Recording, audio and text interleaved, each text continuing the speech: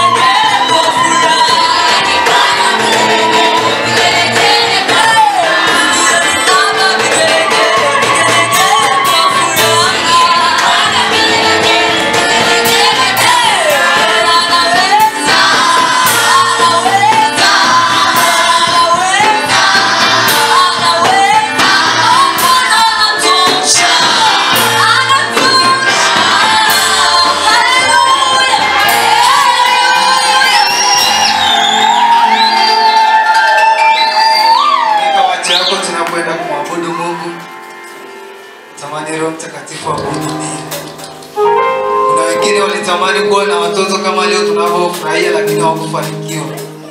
Walivyoingia tu kwenye operesheni, maisha yao yakakatika. Tuna kila sababu ya kumwambia Mungu pokea sifa, sio kwa sababu tuna kitu chochote ambacho tunamtendea Mungu, lakini natakiwa tumpe Mungu shukrani za mioyo yetu, sio mpaka Mungu akutendee kama unavyotaka, lakini kwa moyo wa shukrani Mungu anaweza akakuvusha mahali ambapo haukutarajia kuvuka. Funika macho yako, nyanyua mkono wako juu.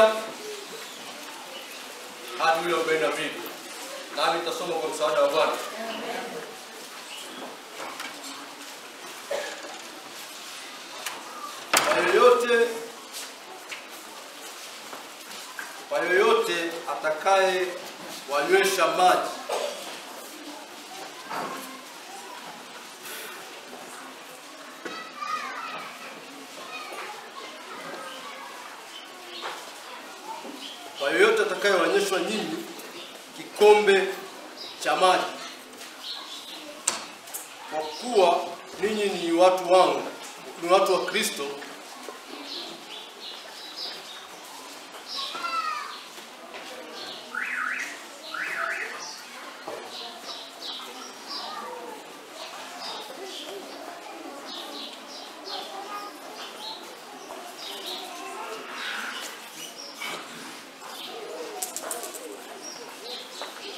Nisamehe kidogo, naona maandishi ya Biblia yangu kidogo yana shida, lakini tuendelee.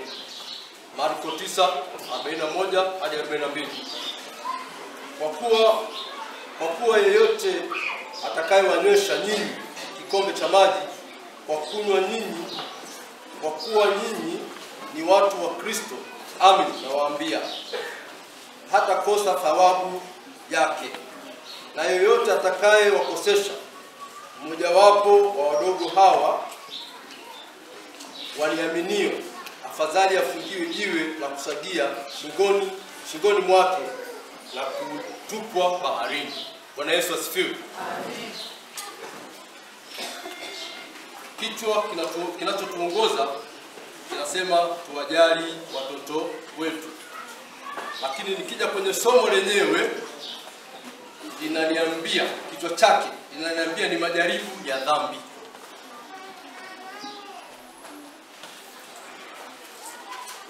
Maana anasema kwenye ule mstari wa 41, yoyote atakayewanywesha angalau kikombe, kikombe cha maji watoto hao yeye atapata thawabu. Thawabu ni nini? Thawabu kama taji la thamani ambalo atapewa taji la thamani au haki ya pekee ambayo inatoka kwa Yesu Kristo mwenyewe. Utakapomfanyia mtoto mdogo jambo hili la kumpenda, basi Yesu Kristo naye anakutazama kwa upande wa pili kwamba wewe unastahili kuwa na thawabu.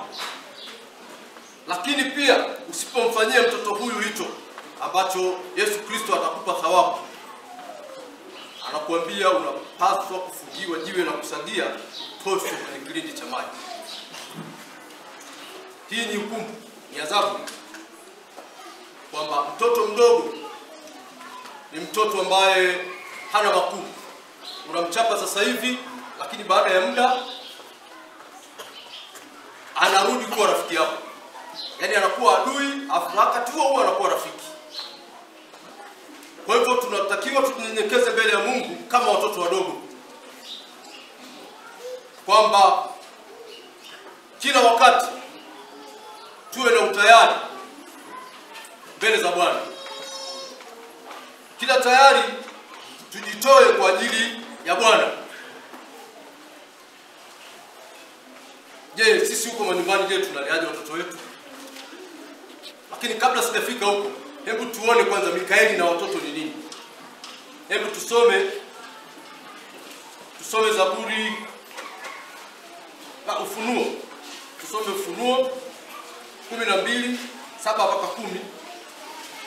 Naomba mtu aliyepata anisaidie.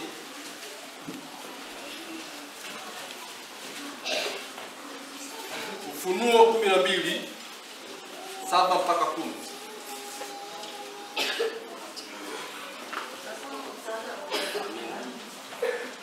Kulikuwa na vita, na mbinguni, mara Mikaeli na malaika zake wakapigana na yule joka. Yule joka naye akapigana nao pamoja na malaika zake, nao hawakushinda, wala mahali pao hapakuonekana tena mbinguni. Yule joka akatupwa, yule mkubwa joka wa zamani aitwaye Ibilisi na Shetani, audanganyia ulimwengu wote, akatupwa hata nchi, na malaika zake wakatupwa pamoja naye. Nikasikia sauti kuu mbinguni ikisema, sasa kumekuwa wokovu na nguvu na ufalme wa Mungu wetu na mamlaka ya Kristo wake, kwa maana ametupwa chini mshtaki wa ndugu zetu, yeye awashtakie mbele za Mungu wetu mchana na usiku. Amen. Amen. Mikaeli na watoto, maana yake sasa naona kama mmeipata au mmeielewa kidogo, ila mtakwenda kujisomea nyumbani. Mikaeli na watoto, malaika Mikaeli aliamua kutoa, alitolewa kwa ajili ya kuwapigania watoto, na alipigana kweli kweli, alipigana haswa, kwa sababu katika hiyo mistari anasema huyo ibilisi na malaika zake walitupwa na nafasi yao haipo tena pale mbinguni. Bwana Yesu asifiwe. Kwa hiyo yale tunaowafanyia watoto wetu, tuna heri kubwa sana mbele ya Mungu, lakini pia lazima tuangalie, je, sisi wenyewe tunaliaje watoto wetu? Maana kwa kipindi hichi za sasa watoto wetu kwa kweli sijui jinsi tunavyowalea, lakini mtoto mapigo usiache kumpa mapigo. Hayamuui mtoto bali yanamwelewusha. Kuna wazazi sasa hivi hawapendi hata mtoto wake aguswe, hawataki kabisa. Kipindi cha sasa hivi wazazi tumegeuka, tunalea watoto wenyewe, lakini huko nyuma zamani watoto wanalelewa na jamii nzima inayozunguka, lakini leo tunalea watoto wenyewe, kila mzazi analea mtoto mwenyewe, na ile kulea mtoto mwenyewe inakupa shida, kwa sababu hata njia anazopita wewe hujui amepita njia ipi. Lakini ningekuwa mimi na niko ndani ya malezi hayo, huko ninapomuona na njia anazokwenda sio sahihi, ningesimama na yule mtoto. Lakini leo ukisimama na mtoto wa mtu utapelekwa kituo cha polisi, na ndio maana mambo hayaendi. Mtoto anafanya jambo hili, wazazi wanakaa wanaangalia. Mtoto anatukana, wazazi wanapita tena pembeni kabisa kama hawasikii. Lakini huo sio utaratibu wa Kikristo. Utaratibu wa Kikristo ni kukemea na kuonya. Hayo ndio malezi ya Kikristo.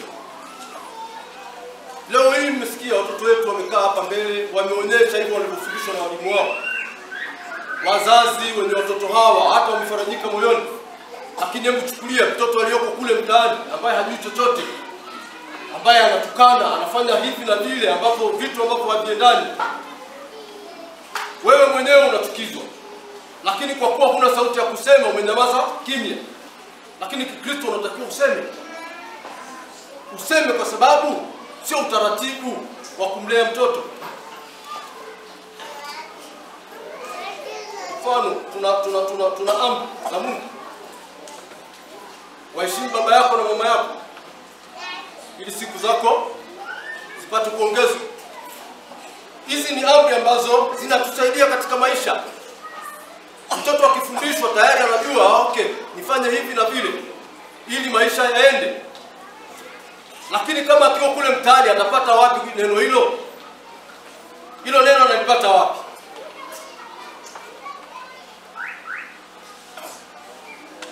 Hatuwezi kupata uzima wa milele kwa kukaa nje ya kundi linalotafuta uzima wa milele. Lazima tuingie ndani ya kundi linalotafuta uzima wa milele ili tupate kuwa na nafasi ya kurithi huo uzima wa milele. Lakini sisi kama wazazi lazima tusimame na hawa watoto wetu, tuseme nao. Watoto wa sasa hivi wamebadilika, wamebadilika kabisa. Leo watoto wanaua wazazi kwa ajili ya mali. Leo watoto hawataki kumsikiliza jirani wala rafiki, yaani wamekuwa maadui, lakini tuko nao mtaani. Na tena ukichunguza sana, wengine ni Wakristo wenzetu, ni wenzetu wa humu ndani. Mungu atusaidie sana katika kuwalea watoto wetu, na misingi ya watoto wetu jamani, itatengenezwa ikawa imara kama watakuja katika kusanyiko letu. Bwana Yesu asifiwe. Nataka kusema kwa sababu kama mama mama ndo ana jukumu kubwa sana la kukaa na watoto, lakini kimungu tu imani ya mama ni kubwa sana kwa mtoto, maana mama ndio anamrithisha mtoto maudhui yote ya kiimani, na ndio maana tukisema tunamwombea mama huyu, tunamwombea mama, shika tumbo lako, kwa sababu tunajua hilo tumbo limebeba nini au litabeba nini. Ndio maana tunamwombea. Baba, tutasema baba, shika kiuno, lakini mama ndio mwenye maudhui makubwa kwa ajili ya watoto kiimani. Mama hawezi, mama hayuko kwa ajili ya baba katika imani. Mama anamrithisha mtoto imani. Kwa hiyo mama kama hana imani, mtoto naye atakosa imani, kwa sababu imani haitoki kwa baba. Sio kama tunaelewana hapo? Imani ya mtoto haitoki kwa baba, inatoka kwa mama. Maana toka tumboni wa mama tayari uwepo wa Mungu unakuwepo. Kwa hiyo sisi kama wazazi, hasa wakina mama, mama zangu, naomba nyinyi ndio jicho la imani za ya watoto. Kwa hivyo muangalie namna pia ya kuwafundisha watoto, maana mtanisamehe, kuna kitu kimoja tunasema sasa hivi wamama wa sasa hivi wamekuwa wao ni karibu sana na watoto, tena wakizungumza sana mabaya ya baba. Mama anakaa na watoto anamwambia, ah, baba yako unajua yuko hivi, baba yako yuko vile, baba yako unajua hata hela chakula hatoi. Mama ndio anakaa anasema na mtoto, na ndio maana unakuta watoto wengi wanachukia baba zao. Watoto wengi wanachukia baba zao, na wanachukia kwa sababu msingi umeanza kule kwa mama. Lakini mama, pia wewe hayo matumizi unaopewa na baba, kwa nini utaki kusema baba ndio ametoa? Kwa nini useme tu wewe ndio umetoa? Tunajua wewe mama una kazi, lakini unasemaje wewe ndio unalea pale? Kwa hiyo ndugu zangu, hasa wakina mama, hebu tuwe wa kweli kwa ajili ya familia zetu. Leo hii watoto wa wa kiume hasa wa kiume wamekuwa wabaya sana kwa baba zao, wabaya sana. Leo mtoto wa kiume anamnunulia babake baba, na tunazidi tu kushukuru watoto wa kike wanapenda baba zao. Kwa mama, hata kama utaongea ubaya kwa mtoto wa kike, ah, hiyo no, bado mtoto wa kike anapenda baba lakini watoto wa kiume kweli imekuwa ni tu, lakini tuwalee katika njia hiyo, kwa sababu malezi tunayoyatoa yasipokuwa sahihi, mwisho wa siku tunapokuwa wazee tunapata shida sana. Hasa tuangalie hebu wazee wazee wazee wetu wa kiume ndio wanaoteseka sana watoto wamewasahau hao wazee. Na unajua baba baba hawezi kwenda kwa mke wake, baba hawezi kwenda kwa wako, baba atakaa ndani kwake, lakini mama anaweza leo akatoka hapa, ana mtoto wake Dar es Salaam akaenda, ana mwingine sijui yuko Dodoma akaenda, lakini baba yeye yuko? Nyumbani. Hata mtu akumpikia ni shida. Kwa hiyo ndugu zangu, sasa wazazi wetu hebu tuwalee watoto wetu katika njia ambayo ni sahihi sana.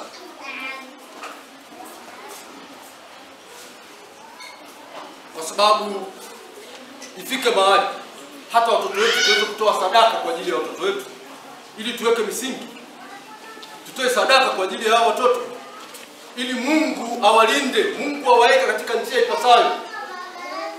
Kwa maarifa yako ya kibinadamu, wewe kama mzazi hutaweza mweke Mungu hapo katikati, mweke Yesu Kristo hapo katikati, ili aweze kutengeneza haya maisha.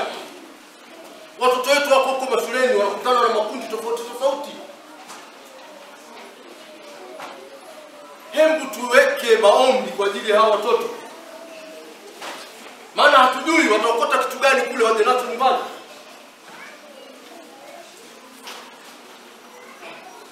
Halafu pia kwani kuna ubaya gani wewe ukipanda mbegu? Si unaitazamia yote? Kwa sababu hata wewe ulipo hapa ndani hatujui ni mbegu iliyopandwa kama ilipandwa na mzazi wako au ni nani alipanda au ni mama au ni baba. Ingawa mara nyingi nataka niwashukuru sana wakina mama. Wakina mama wanaweza kupanda sana mbegu. Wakina mama wana maombi kwa ajili ya familia. Hili ni jambo kubwa sana. Ni tofauti kidogo na kina baba. Wakina baba kidogo ni wazito, lakini wakina mama tunashukuru sana kwa sababu mnaweza kuweka mbegu zenu, na hizo mbegu lazima zifanye kazi. Ombeni kwa ajili ya watoto wenu, ili hata kesho mtoto amesikia baba anaumwa, anakuwa haraka sana kukimbia kwenda kusalimia. Lakini leo kuna mtoto akisikia hata babake anaumwa, hata ana habari, hana habari kabisa pia kwa sababu tuseme tu ni teknolojia.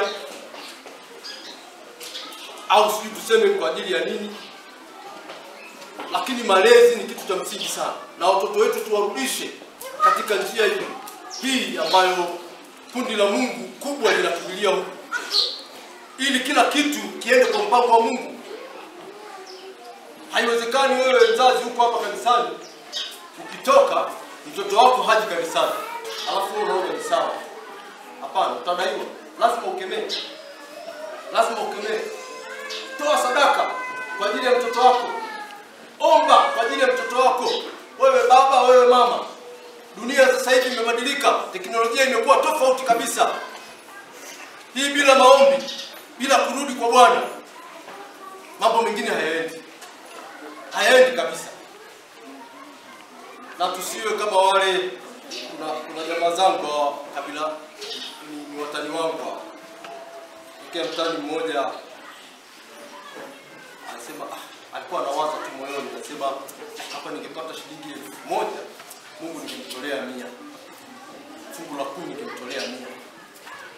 Sasa katika kuwaza akasema, "Ah, lakini pia nikitoka ni elfu tano pia ningeweza kumtolea fungu la kumi. Sasa bahati nzuri katika kutembea akaokota shilingi elfu tisa akashukuru kweli, akasema ah, afadhali nimepata shilingi elfu tisa Mungu tayari ameshachukua ya kwake yote. Akasahau kwamba aliweka ahadi moyoni kwamba nikipata hichi nitatoa. Yeye akaona kwa sababu amepata elfu tisa basi kumbe labda ilikuwa elfu kumi hivyo pale, Mungu amechukua ya kwake ni elfu. Kwa tusiwe watu wa namna hiyo, tukawe watu ambao tunatimiza yale makusudio ambayo ni muhimu sana kwa ajili ya familia zetu. Na ninataka niwaambie ndugu zangu wa Kristo, kwa nini ukienda kwa mganga unatoa sadaka? Kwa nini ukiwa hapa kanisani unataka kutoa sadaka? Sadaka ndio msingi. Ukiona ibada ambayo haihusishi sadaka, hiyo sio ibada, kimbia, kimbia kabisa. Ibada yoyote lazima ihusishe nini? Sadaka, kwa sababu sadaka ndio connection ya wewe na yule unayemtolea sadaka. Na ndio maana tunasema hata ukileta sadaka yako ukiinenea kwa ajili ya familia yako itakuwa tu, kwa sababu hiyo ndio connection. Hakuna ibada ambayo haina sadaka. Kwa hivyo tutoe sadaka tukiwa na sio tu unaleta sadaka kwa kuwa ni utaratibu, hapana. Chukua sadaka yako, funga vizuri, inenee, alafu isogeze mbele za Bwana. Utaona tofauti ya sadaka ambayo ulikuwa unaitoa kawaida na sadaka hiyo ambayo unaendelea Tuwe na mazoea ya kutoa sadaka kwa kuinenea, kwa sababu hiyo sadaka ndio itajenga msingi. Kuna bwana mmoja katika Biblia huko anaitwa Kornelio. Yeye alikuwa sio muumini kabisa, lakini alikuwa akiona watu wanakwenda kusali, alikuwa anapenda kuwapa wapeleke sadaka. Wakawa wanapeleka sadaka kule madhabahuni. Mwisho wa siku Mungu anauliza, mbona naona sadaka ya fulani, lakini yeye mbona simuoni? Sadaka Kornelio naiona, lakini mbona yeye simuoni? Unaona sasa jinsi sadaka jinsi ambavyo ina nguvu. Wewe huko huko, lakini kwa kuwa uliachilia sadaka huko, inafanya kazi, inakumbusha. Na ndio maana tunasema hata ukiumwa, mkumbushe Mungu tu lile ambalo ulimfanyia, mkumbushe Mungu, nilifanya hili, usiniache, nikumbuke. Maana hii ndio msingi, hii ndio msingi ya kidini, ni msingi ya ibada ambazo lazima tutoe sadaka. Na wajibu wetu kwa kama Wakristo ni upi? Wajibu wetu kama Wakristo kila mara ni kuonyana, kuheshimiana, kutakana radhi, kuja katika kusanyiko, kwenda kuona utaratibu tunaotupangia. Huu ndio wajibu wetu sisi. Na wewe ukiwa kama Mkristo, kama huoni, huwezi kumwonya mtu, wewe bado Ukristo wako hujakamilika. Lazima tuonyane sisi kwa sisi ili mambo yaende. Na ndio maana unapokaa na watoto wako ukazungumza jambo, wale watoto wanalifuata. Lakini kama huna huo utaratibu, mambo yanakwenda shagalabagala. Akiamka asubuhi, yeye anajua ni mambo ya chai, anywe chai ya aondoke zake, aje mchana aulize chakula, na hivi tena hakuna ajira, ndio balaa kabisa. Wanaingia na kutoka, wanapishana. Lakini kama una utaratibu, asubuhi labda kuna misa na saja asubuhi, ukimshukuru Mungu kwa ajili ya usiku mzima, pia waongoze katika siku yenu, bila jambo jema sana. Mtoto yule ataishi kwa hofu ya Mungu. Lakini kama tunakwenda tu pasipo kujua tunakwendaje, yani tunakuwa kama tunakuwa kama kama mifugo, ukiwafungulia kwenye zizi, basi wanatoka wanaondoka. Halafu pia isitoshe, watu wengine tumo humu ndani. Kweli, tuna imani zetu na imani iliyokomaa kabisa, lakini tumekuwa na imani za kiroho, imani za kiroho, kiburi. Tumekuwa na kiburi cha kiroho.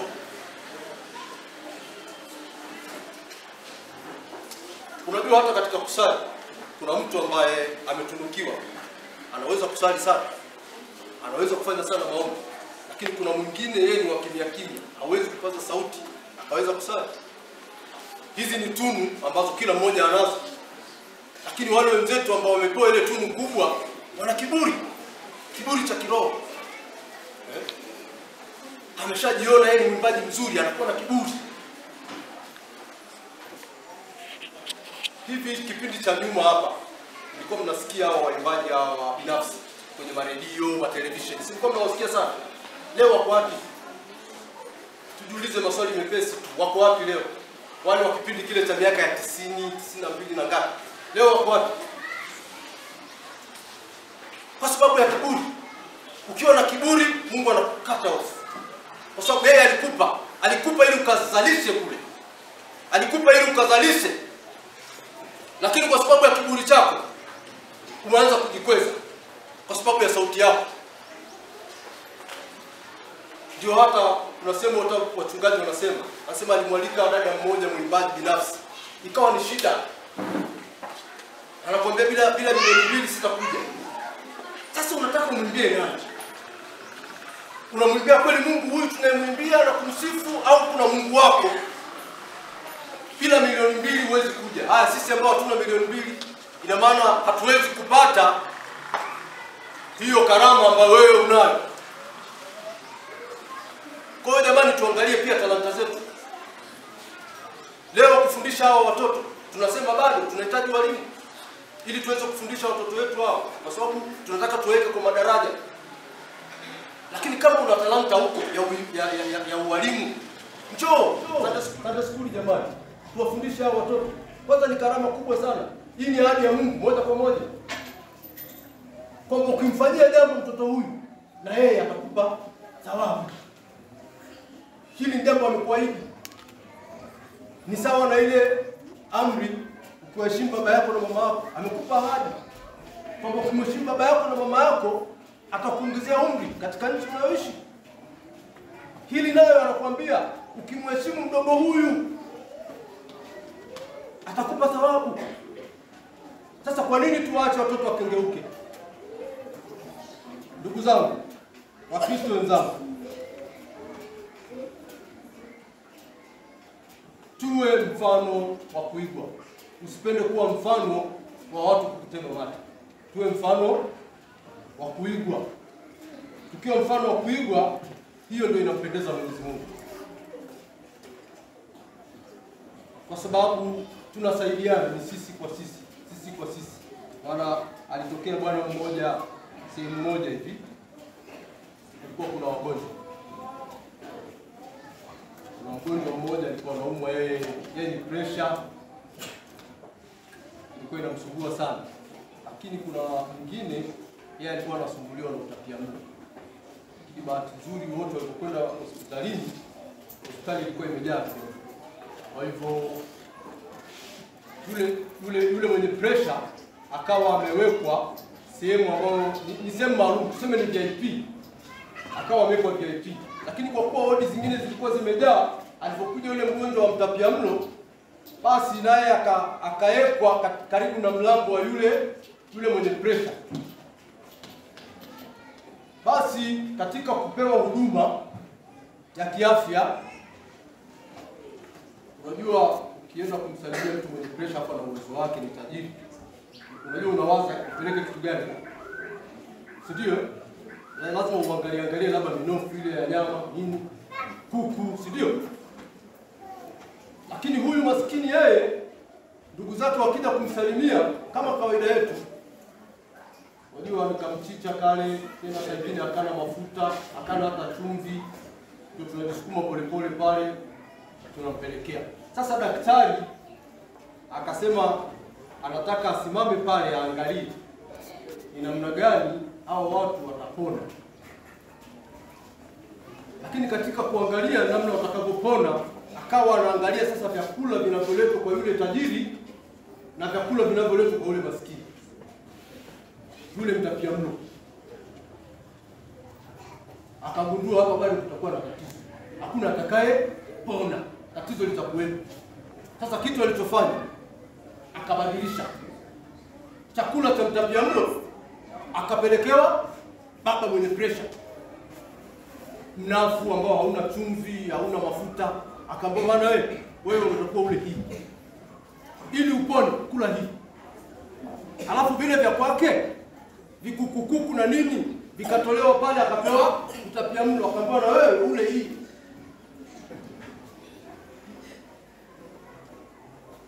Basi katika zoezi lile muda unapozidi kwenda kwa kupeana hivyo, ingawa ilikuwa kwa manunguniko, yule tajiri alikuwa na manunguniko sana, atawezaje kula chakula kama kile? Lakini kumbe ndio tiba. Mwisho wa siku tajiri anaambiwa sasa, bwana, toka hospitalini, lakini vyakula vyako ndio hivi, vya sasa, ni vile vya nani? Vya mtapiamlo. Na huyu mtapia mlo naye anatolewa pale akitoa naye ratiba ya vyakula vyake, kwamba bwana, naendelea kula vyakula hivi.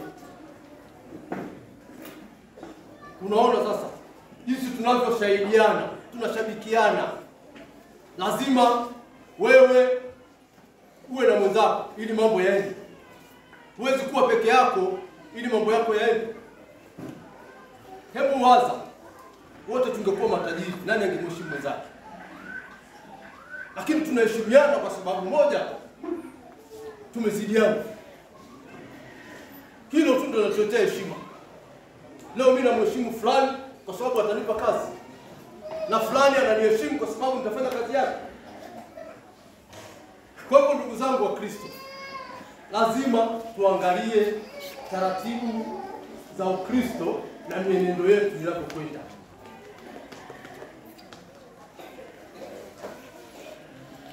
kwa sababu kila siku mabadiliko yapo, kila siku mabadiliko yapo, hasa kwa hao vijana wetu, kila siku mabadiliko yapo. Sasa tukiwaachia hao vijana na mabadiliko yao, tutakuta kwanza hatuna kanisa, Pili, hapo nyumbani patakuwa hapatoshi.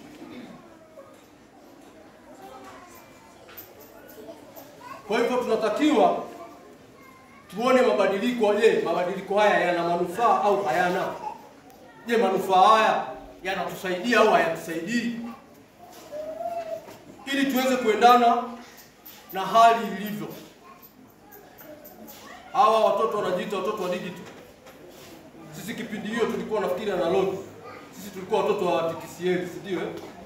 Sisi tulikuwa watoto wa TTCL. Mnapanga foleni kubwa hapo, unataka upige simu moja tu, kumwambia baba labda umeishiwa hela shuleni, unaandika telegram.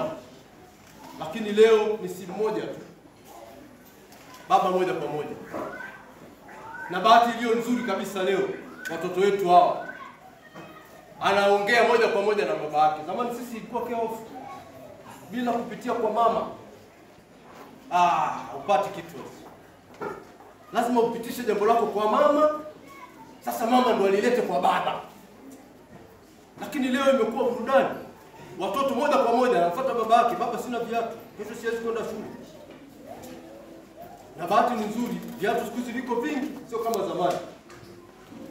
Maana zamani sisi tulikuwa ukienda shule mpaka unapita kwenye majani, unajiburuza na majani yani, ile vumbi litoke miguuni. Mm. Leo hakuna hicho kitu. Leo watoto wanapanda magari, wanakwenda shuleni. Sisi ilikuwa unaweka mkoba wako hapa nyuma kilomita nane na kuna namba, unashika namba una... baadaye kuna viboko kwa unatakiwa uwai saa moja kasorobo. Sasa hebu fikiria kilomita nane kama hapa na Loliondo, alafu hiyo umechapa mguu miaka saba. Leo watoto wanapanda magari, amekwenda huko, amepanda gari, amekwenda Maria Prince, amekwenda sio sacrifice, taratibu tu. Tena saa ingine anaweza akawa amechoka tu, anakuambia ah, mama leo mimi siendi, alafu mama unakubali, hata una shida, unakubali kabisa. Na hata mwalimu akikupigia simu, bwana, mtoto wako hajafika shuleni, sasa "Ah, leo alikuwa amechoka. Kweli?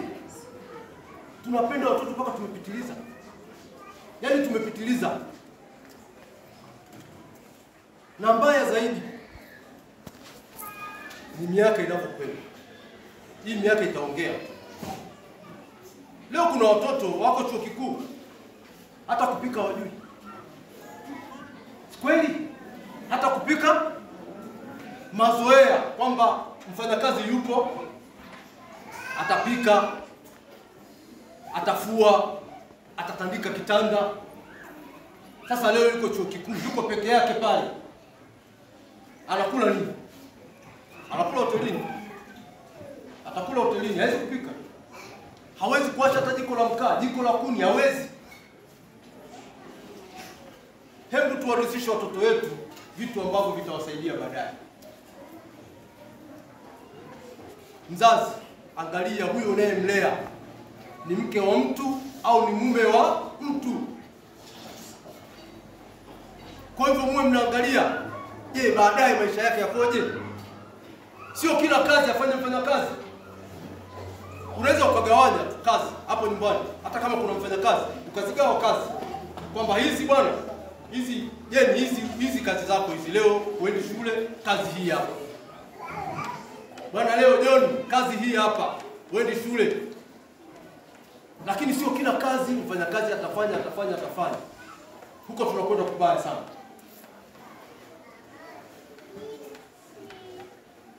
Na mbaya zaidi tena, nirudi kwa kwa kina mama, bado hapo hapo, utanisamehe. Kwa sababu jicho langu linaona mama. Ndiyo sapota kubwa kwa ajili ya watoto wao. Leo mama, kama na wewe hutaki kukaa jikoni kupika, mama hutaki kupika, unataka bwana wako apikiwe na wafanyakazi, hata kitanda, usafi wa kitandani. Unataka mfanyakazi afanye, inakuja kweli?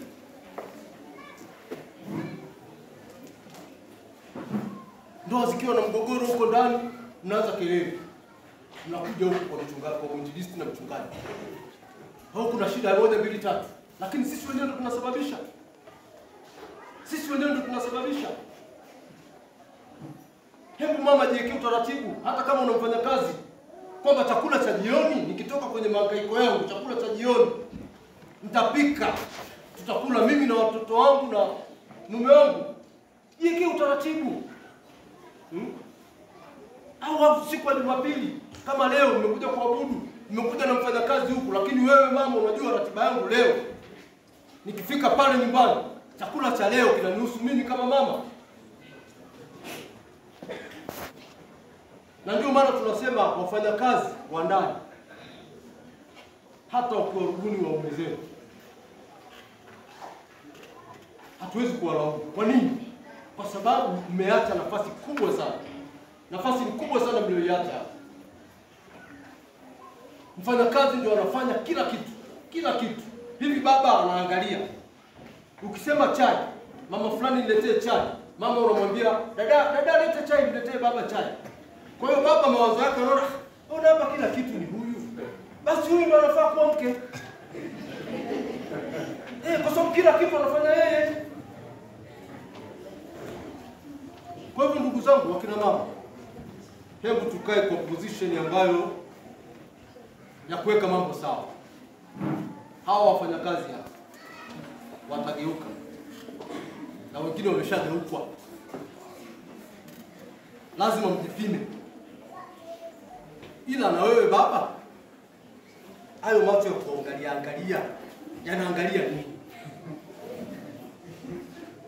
Yanaangalia kitu gani? Baba, wajibu wako wewe kutuletea chakula sisi. Maana baba asiyelete chakula nyumbani, asiyejua jukumu lake kwa watoto wake, hafai kuitwa baba. Na ndio maana mara nyingi nilikuwa nasema kuna baba anafikia mahali anakaa na watoto wake, anajinadi kwa watoto, nyie watoto, mimi ndio baba yenu, mimi ndio baba yako. Eti hupaswi baba kujinadi kwa mtoto wako. Mtoto anatakiwa ajue tu wewe ni baba kwa yale mambo unayoyafanya, lakini unajinadi kwa sababu kuna kitu ambacho kimepungua, akiendani na ubaba wako. Unakwepa majukumu, unakwepa majukumu. Baba, lazima usimame na majukumu yako, simama na majukumu yako, hata watoto watakaporukuniwa na mama kwa maneno yale, ndio wanasema mwanzoni kwamba mama ana uwezo wa kuongea na mtoto, hasa watoto wa kiume, kwamba baba yako yuko hivi, yuko hivi, yuko hivi. Lakini kama baba utakuwa umesimama kwenye njia yako, ukawa unaumia kwa ukweli, hata kama mama atazungumza na mwanaye, mwanaye si anaona, anaona baba jinsi anavyohangaika, iwe jua iwe mvua, anaona baba anavyoingia na kutoka, baba anavyoumia kwa ajili ya watoto wake wapate riziki. Lakini kama wewe baba hujasimama kwenye hiyo nafasi, challenge ya mama inakuwa kubwa kwako, inakuwa kubwa na inakuwa kubwa kwa sababu moja tu. Ni kweli mtoto akikaa pale, mama ndo anapika, mama ndo anatuma anaenda kaleta kitu fulani, baba haonekaniki anafanya nini. Kwa hivyo mtoto anachukua ile dhana kabisa moja kwa moja kwamba kweli baba hanipendi. Na wewe ukitaka kujua haya mambo ya, ya watoto wa kiume na mama zao, ni siku kijana anataka kuoa, ndio utajua mm, hapa mbona alizungumzwa kumbe maneno mengi. Haya, mimi naopewa huku ni yale mepesi sasa, lakini mambo mengi huku tayari fedha. Unajua mama tayari ashamchagulia mpaka na mke. Mama tayari ameshajua na mke na mkwe wake ameshamjua, lakini wewe baba hujui. Na ushirikishwi, ila mwisho wa siku ndio utasikia tu mtoto anakwambia nataka kuoa. Wapi anataka kuoa? Kwenye nyumba ya fulani. Sasa wewe baba ukisema mm, wale mbona mimi siwaelewi, asema ah, mama anawajua. Umeona, mama ana maana mama tayari ana ana hiyo hiyo frame nzima anayo. Kwa ndugu zangu Wakristo wenzangu, wazazi na walezi, tuone jinsi gani tunaweza kulea watoto wetu, tuwalee watoto wetu bila kuwabagua. Maana ni kweli kwa wazazi, hizo ni, ni nafsi zetu. Sasa tunazijua, wazazi wa kike au wa kiume ana mtoto ambaye kweli anaumia kwa ajili ya mtoto huyo. Unakuta mzazi ana watoto labda wanne watano, lakini anaumia kwa ajili ya mtoto huyu mmoja, ndio aliyembeba kwenye moyo wake, anaumia kabisa. Na ukiona sana yule mtoto anayechapwa chapwa sana, huyo ndio anayependwa. Yule ambaye apendwa anasukumwa. Yaani ni sawa na, na, na ukiwa huko porini. Ukiona nyani amebeba watoto wawili, yule aliyembeba mgongoni ndio wa kwake, aliyembeba tumboni sio wa kwake, ameachiwa na mwenzake. Analinda sana kile alichokabidhiwa kuliko cha kwake, na hii ndio hiyo ambayo tunao sisi wazazi. Kuna kitu unakilinda, lakini ni roho yako tu imenyamaza kimya, kwa sababu sina watoto wanne, ili hao wasijui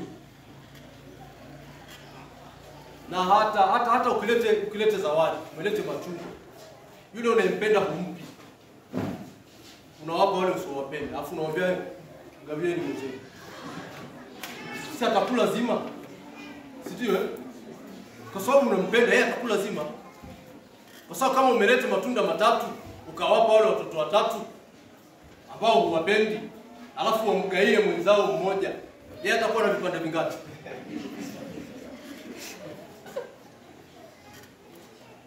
Kwa hiyo tuondoe hiyo sana. Watoto wetu ni wote ni wa kwetu, wote ni wakwetu, tuwaweke kwenye mstari ili mambo yaende, tuwarudishe tu kwenye mstari. Na wewe kama mzazi usichoke kukemea, usichoke kuongea na mtoto wako. Hivyo wewe usipoongea na mtoto wako, unafikiri mtoto wako ataongea na nani? Akija huku kwa walimwengu, akakutana na wavuta bangi, akakutana na machangudoa. Mfano kama sasa hivi wasi wetu mnaiona ilivyo, sio ile waso tulikuwa tunaijua. Leo hii mnaiona waso ilivyo, imekuwa ni waso ya hatari. Kwa hiyo msipozungumza na watoto wenu na vijana wenu, jamani, tunakwenda wenyewe kujichimbia kwenye shimo. Tujipe nafasi katika familia, kukaa na watoto, tuongee nao, tuzungumze nao na tujue matatizo ya watoto wetu. Na mtoto akikuletea tatizo, wewe mzazi libebe, kwa sababu wewe ndio mtatuzi wa hilo tatizo. Usifikiri akija huku nje ndio ile tatizo litatatulika. Tatizo la kifamilia linaanzia ndani kwanza, na hata kama litatoka nje, linatoka nje kwa hatua, linatoka nje kwa hatua, kwamba nimuone mzee fulani anisaidie jambo hili. Sio kila mzee ni mzee tu ambaye atapelekewa jambo la kifamilia. Kwa hiyo lazima tuwe na maono kwa watoto wetu, kwa sababu dunia inapokwenda, dunia imeshakuwa kizunguzungu, dunia imeshakuwa kizunguzungu, na dunia inavyozunguka, tukizunguka nayo, haya magoti tunaopiga hapa, tunapozidi kuomba hapa, yote ni kazi kubwa, yote ni kazi kubwa. cha msingi tuwe na dhati ya familia zetu, maana tunasema furaha. Iko sehemu mbili, tunapata furaha na amani kuwa umepata sehemu mbili, ni kanisani na nyumbani. Sasa kama hapa kanisani ukiuja hapa huna furaha, ah, hiyo umeumia. Yaani ukija kanisani huna furaha, umeumia. Ukienda nyumbani hakuna furaha, umeumia pia. Hakuna sehemu nyingine ya kufarijiana zaidi ya kanisa na nyumbani. Kazini kuna majungu,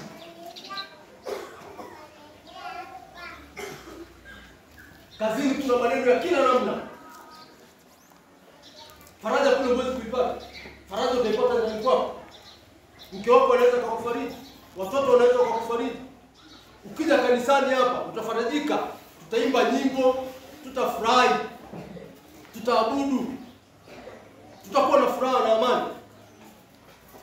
Hakuna sehemu nyingine, ni hizo mbili tu, nyumbani na kanisani peke yake. Kwa hiyo ndugu zangu, naomba tuwalee watoto katika njia iwapasayo, ili hata wakiwa wazee wasisahau nini walizofundishwa wakati wakiwa watoto mpaka na vijana wao. Bwana Yesu asifiwe.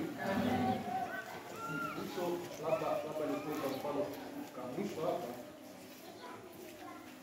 sisi pale Arusha mjini, unajua kazi kazi huwa tunafanya tunafanyaga mpaka giza, hasa ukitoka maeneo ya Njiro kule kuja mjini huwa tunachelewaga sana. Saa unakuta labda saa mbili ndio tunafika pale mjini.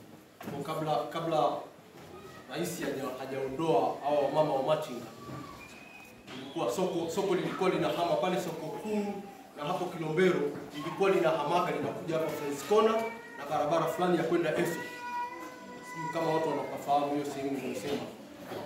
Huwa ndio soko linahamia huko mida ya jioni.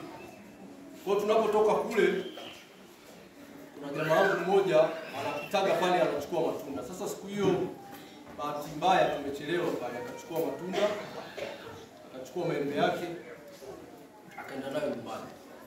Kufika nyumbani, bahati mbaya umeme ukazima.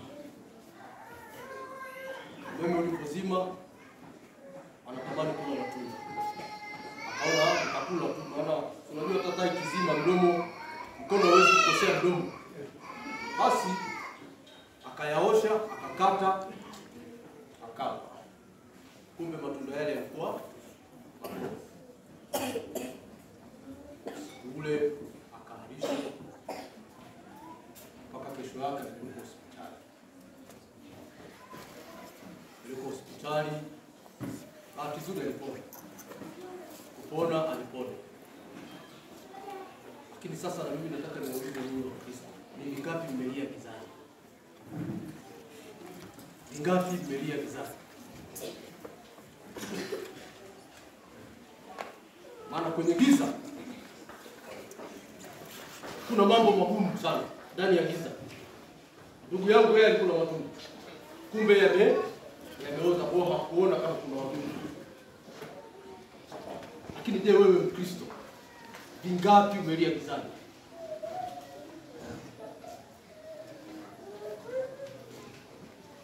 Kwa nini usilie kwenye nuru? Ndugu zangu, Wakristo wenzangu, tusipende kula vitu gizani, tuvile kwenye nuru na mwanga, kwa maana vinakuwa na utukufu wa Mungu. Bwana Yesu asifiwe.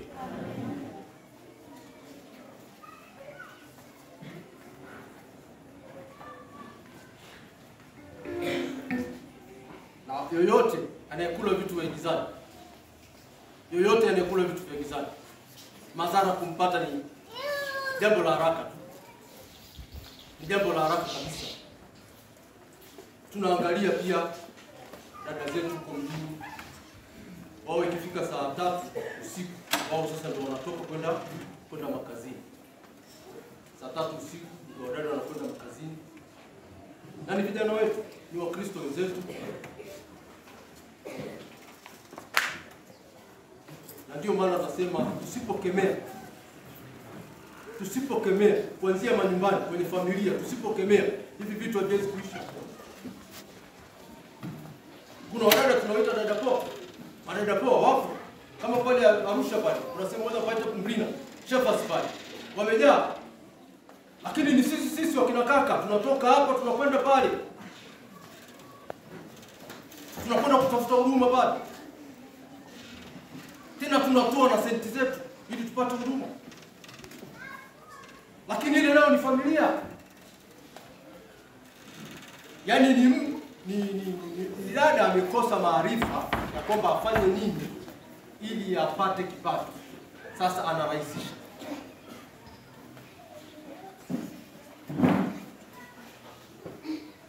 Sasa wewe kaka ulioko wewe dada ulioko hapa naomba tusile vitu gizani, naomba tusile vitu gizani, ili tuwe na utukufu wa Mungu. Vitu vya gizani tuviache, vitu vya gizani tuviache. Na wale tulikuwa tunasema wenye wenye kiburi cha kiroho, na wao jamani, kama unaimba imba, acha hicho kiburi, imba.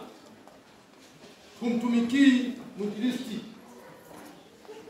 humtumikii kiongozi yoyote, unatumika kwa ajili ya Bwana, ili mwisho wa siku uvishwe taji. Sasa kama unaimba kwa ajili ya watu fulani fulani walioko hapa, uimbaji wako hautasonga, uimbaji wako utasonga mbele. Imba kwa ajili ya utukufu wa Mungu, imba kwa ajili ya Mungu, tumpe sifa na tumwabudu yeye. Tusisimame kwa ajili ya mtu fulani, tusisimame ili watu watuone. Tuimbe kwa ajili ya Mungu wetu.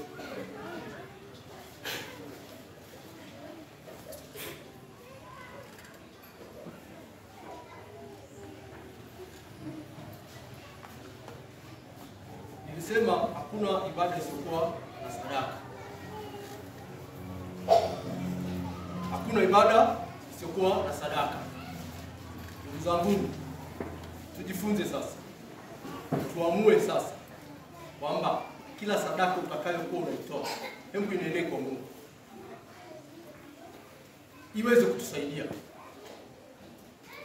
inenee kwa Mungu kwa ajili ya magonjwa, kwa ajili ya hali za watoto wetu, ukorofi wa watoto wetu, uvutaji bangi wa watoto wetu, vyote hivyo hivyo viweke huko kwenye maombi, kwenye hiyo sadaka, ili Mungu akapata kufungua milango yake kwa ajili ya watoto wetu, ili Mungu pia akakuone wewe mama na baba unatumikaje kwenye familia yako.